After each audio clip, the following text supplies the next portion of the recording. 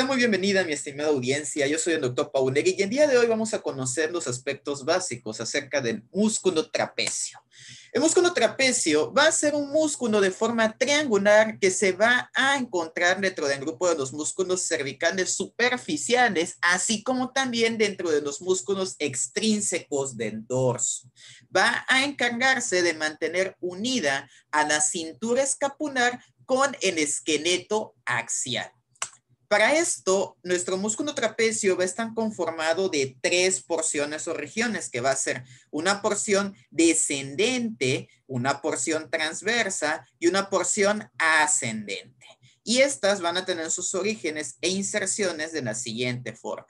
Vamos a empezar hablando de la porción descendente. Esta porción va a tener su origen en la protuberancia occipital externa, así como también en las apófisis espinosas de las vértebras cervical 1 a la cervical número 7, y se va a insertar en lo que va a ser el tercio lateral de la clavícula. En cuanto a nuestra porción transversa, este va a tener su origen en las apófisis espinosas que se extienden de las vértebras torácica 1 a la torácica número 4 y se va a insertar a la porción del acromion de la escápula.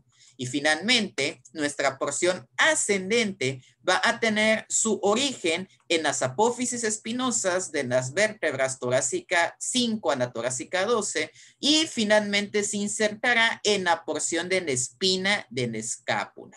De esta manera, estas tres porciones nos van a, formar un músculo que con su compañero del otro lado formará un trapecio y es de ahí en honor a su nombre.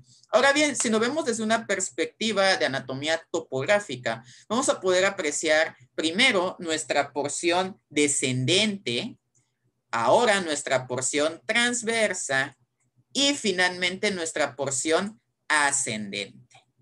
En cuanto a la inervación que va a tener nuestro músculo trapecio, va a estar dada en su modalidad motora por el nervio accesorio o en espinal, que es en parte en el número 11, mientras que los aspectos del dolor y de la propiocepción van a estar inervados por los ramos cervicales que salen de la cervical número 2 a la cervical número 4 de la médula espinal.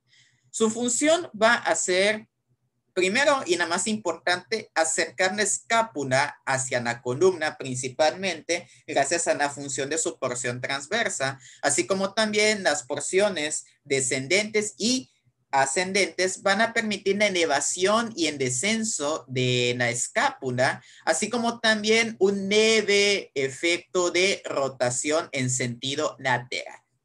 Y bueno chicos, de esta manera llegamos al final de este video. Espero que les haya gustado, que me hayan entendido y nos vemos en el siguiente. Hasta la próxima.